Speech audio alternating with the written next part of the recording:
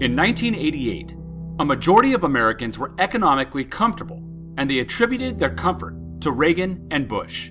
When Michael Dukakis, the Democratic governor of Massachusetts, ran for the presidency in 1988 against George Bush, Reagan's vice president, most voters saw little reason for change.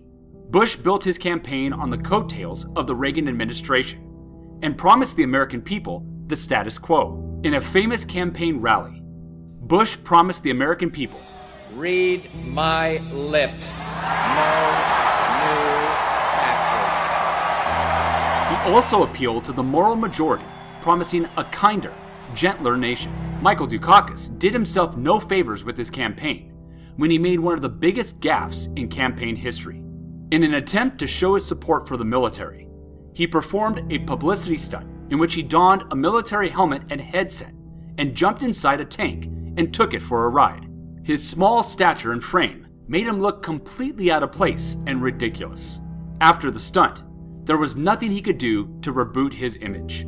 Americans didn't seem to think too passionately about either candidate, proven by record low voter turnout. Bush won 53% of the popular vote, but ran away with the Electoral College, receiving 426 votes. He saw this landslide as a mandate to continue the policies of the Reagan administration. When George Bush took office, he inherited a $2.8 trillion national debt that had been left behind by his predecessors. This tied his hands on what he was able to accomplish in his domestic agenda. Despite this, Bush was able to tackle some of the agenda he had promised during his campaign. First, he created his America 2000 initiative. He attempted to reform education by implementing the idea of school choice. In this program, he wanted parents to use public funds to send their children to schools of their choice, whether it was public, private, or religious. He felt that this choice would put more pressure on schools to improve their performance, thus improving the future of the nation. In an attempt to fulfill his pledge to create a kinder, gentler America, Bush helped to pass the Americans with Disabilities Act, or the ADA. This landmark law prohibited discrimination against 43 million Americans with physical or mental disabilities. He also signed an amendment to the Clean Air Act that would bring the government and business together to find innovative ways to reduce pollution and clean up the environment. The bill would target acid rain and toxic emissions. The last major accomplishment of the Bush domestic agenda was the appointment of Clarence Thomas to the Supreme Court. When Thurgood Marshall retired, Bush chose Clarence Thomas to replace him.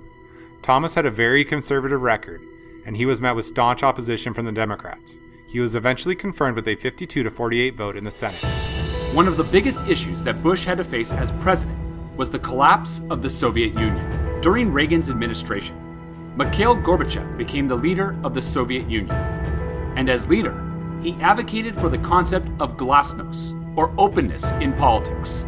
This would allow churches to open, for the release of political prisoners, and journalists were given some freedom to criticize public officials.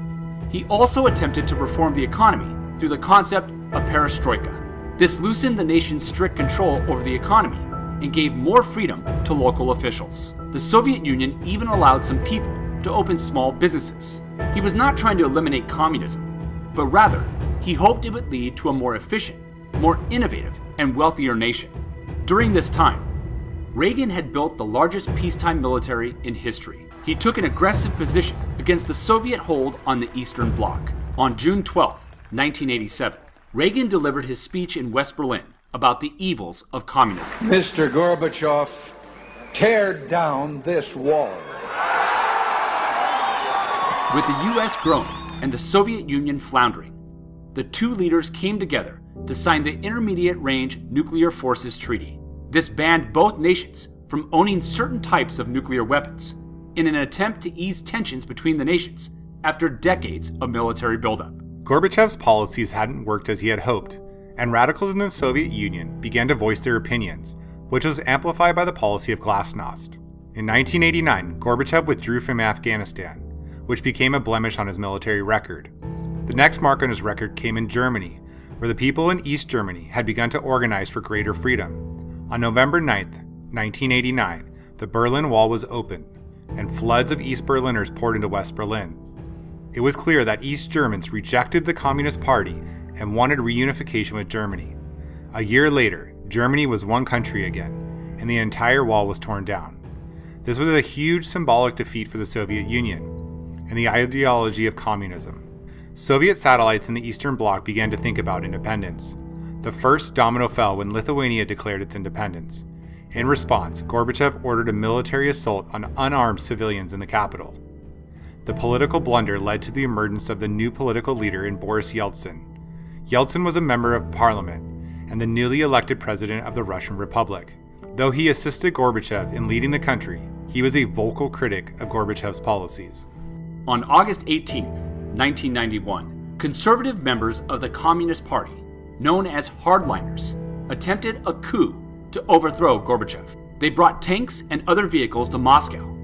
But the Soviet people no longer feared this show of force. Despite his disagreements with Gorbachev, Yeltsin jumped on top of a tank and rejected the coup. This pleased the crowd and other world leaders, including President Bush. Shortly after, hardliners ordered a military attack of the Soviet parliament, but military leaders refused. The Communist Party was dissolved, and many of the Soviet republics, such as Estonia and Latvia, declared their independence. Gorbachev pushed for unity, but the momentum was too strong. And by Christmas Day, 1991, the Soviet Union ceased to exist, and the former republics of the USSR became independent states. George Bush inherited a tough economy, and this really hindered a lot of his ability to get much of his domestic agenda accomplished.